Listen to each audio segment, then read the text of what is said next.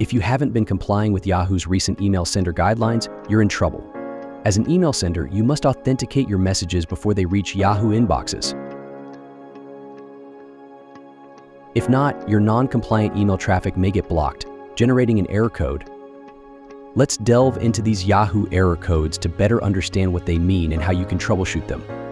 If your Yahoo error code starts with 4, it is a temporary error.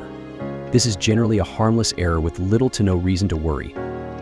This type of Yahoo error leads to a temporary delay in message delivery and can be triggered by spam complaints, connection issues, or server unavailability.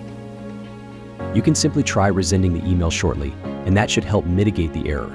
However, if your Yahoo error code starts with 5, this can be worrying. Yahoo error codes starting with 5 indicate permanent errors that lead to permanent message rejections. In recent times, one popular reason for this error is not following Yahoo's email sender rules. So what can you do about this? Simply sign up on PowerDMARC for free and enter your domain name in our Power Analyzer tool. We quickly scan your DNS for email authentication records to test your compliance with Yahoo's sender rules. If you find that your domain is missing SPF, DKIM, and DMARC records, you need to act now. Use our setup wizard to configure these protocols within minutes effortlessly, and you're good to go. This is a quick and easy fix to stop receiving Yahoo errors due to compliance issues. Remember, your email authentication journey only just begins at implementation. For expert assistance, get in touch with PowerDMARC today.